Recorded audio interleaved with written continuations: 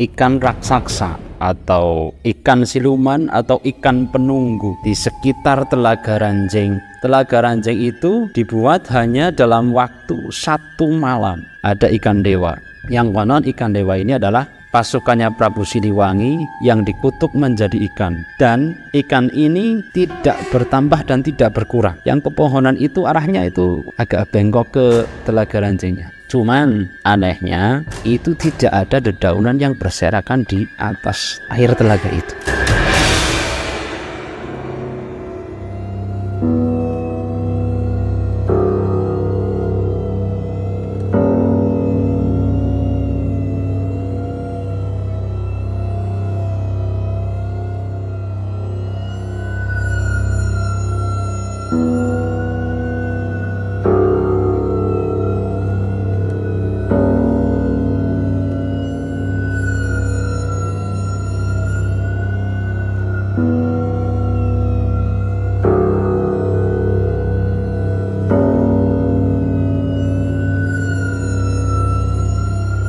Assalamualaikum warahmatullahi wabarakatuh. Ikan raksasa atau ikan siluman atau ikan penunggu yang sudah fenomenal sekali atau tidak asing lagi di telinga masyarakat kita di sekitar Telaga Ranjing yang terletak di Desa Pandansari, Kecamatan Paguyangan, Kabupaten Brebes, Jawa Tengah. Itu memang sudah sering didengar oleh rakyat di sekitar sini atau penduduk di sekitar sini. Dan perlu diketahui bahwa cerita ini memang sudah saya dengar dari kecil dan memang ikan raksasa di Telaga Ranjeng ini konon pernah dilihat oleh penduduk sekitar di tahun 1980-an. Tapi yang menarik di sini tentang sejarah ranjeng itu sendiri yang di video sebelumnya kami sudah sempat berwawancara dengan salah satu sesepuh di wilayah kami bahwa telaga ranjeng ini pada zaman dulu konon akan dibuat di satu wilayah yang letaknya jauh dari situ di wilayah kami itu ada gunung yang namanya Gunung Cupu itu menurut salah satu sesepuh dan ranjang itu akan dibuat di situ oleh seorang wali. Tapi karena kelihatan oleh manusia akhirnya tidak jadi. Dan itu sekarang tanah yang akan dibuat ranjang itu sudah gembur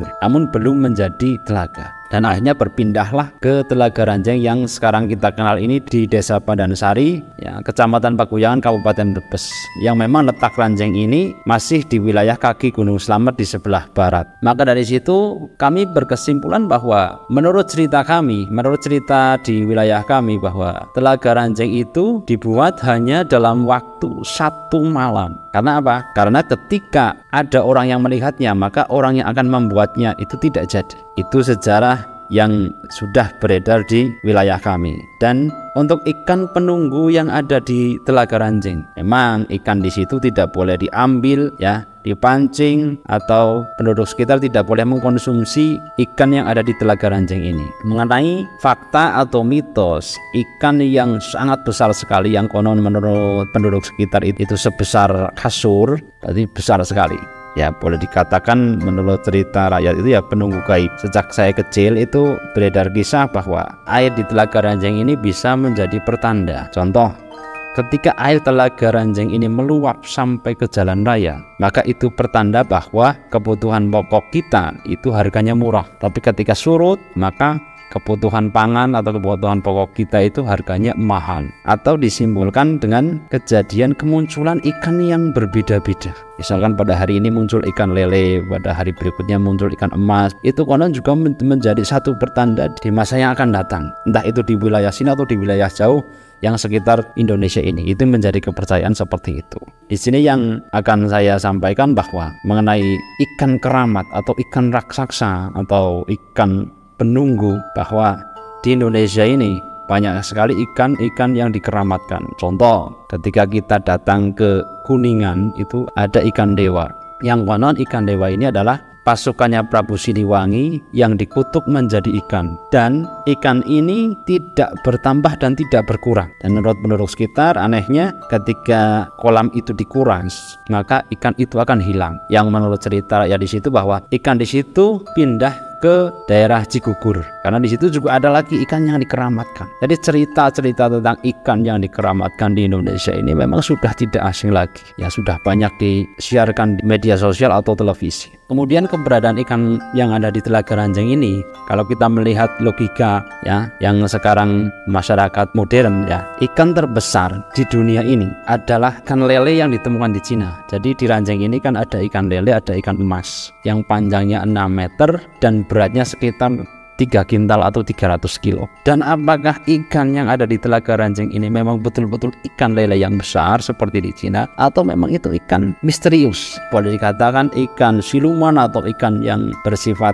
seperti makhluk astral, yaitu belum kita ketahui secara realnya. Jadi kalau ada ikan lele yang besarnya, yang panjangnya 6 meter dan beratnya 300 meter itu logis, itu masuk akal karena sudah pernah ditemukan di Cina. Dan tentang Telaga Ranjeng ini, konon ketika kita datang ke sana, ketika kita melihat ikan-ikan yang ada di situ, itu juga bisa menjadi pertanda bagi kita. Dulu, sewaktu saya masih ya masih muda sekitar tahun 2003, kebetulan teman saya punya seorang paman yang tinggal di dekat wilayah Telaga Ranjeng, namanya ada Desa Embel di situ. Kami berempat di situ, kemudian diajaklah kami ke atas bukit dan melihat pemandangan Telaga Ranjeng yang luar biasa indah sekali. Di sampingnya itu ada banyak sekali pepohonan. Yang pepohonan itu arahnya itu agak bengkok ke telaga ranjingnya. Cuman anehnya itu tidak ada dedaunan yang berserakan di atas air telaga itu. Ya kami juga sempat heran, oh ya ternyata di situ tidak ada satupun daun yang jatuh mengambang di di atas air itu.